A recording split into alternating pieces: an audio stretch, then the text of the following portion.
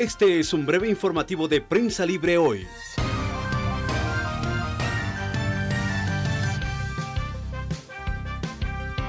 Buenos días Guatemala, buenos días a usted que nos sintoniza más allá de nuestras fronteras. Soy Astrid Blanc y hoy viernes 15 de enero de 2016 le presentaré lo más relevante a esta hora aquí por nuestro primer avance noticioso de Prensa Libre TV. Elementos de la Policía Nacional Civil capturaron a tres asaltantes en el departamento de Jalapa. También se les decomisó 15 mil quetzales en efectivo que habrían robado a un comerciante y una pistola 9 milímetros con cargador y ocho municiones útiles.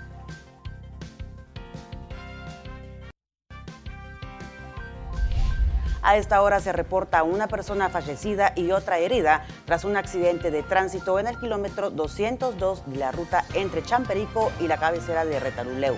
Según testigos, una camioneta que transportaba personal de un ingenio atropelló a estas personas que se conducían a bordo de una motocicleta. Ya se reportan largas colas de vehículos en ambas vías.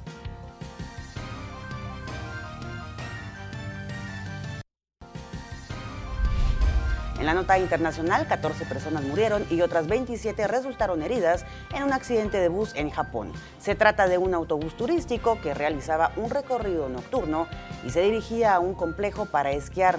Funcionarios y cuerpos de rescate indicaron que el bus se desvió al carril opuesto de una carretera montañosa y se cayó por una ladera. Los pasajeros eran jóvenes de 18 a 38 años de edad y entre las víctimas se encuentran nueve hombres y cinco mujeres.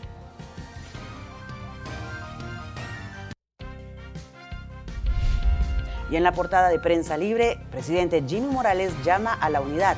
Es el titular principal.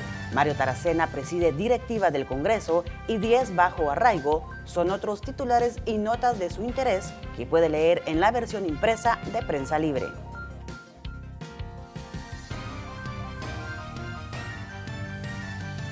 Gracias por acompañarnos y recuerde que a las 11 horas estaremos con usted en nuestro segundo avance noticioso aquí por Prensa Libre TV. Hasta entonces.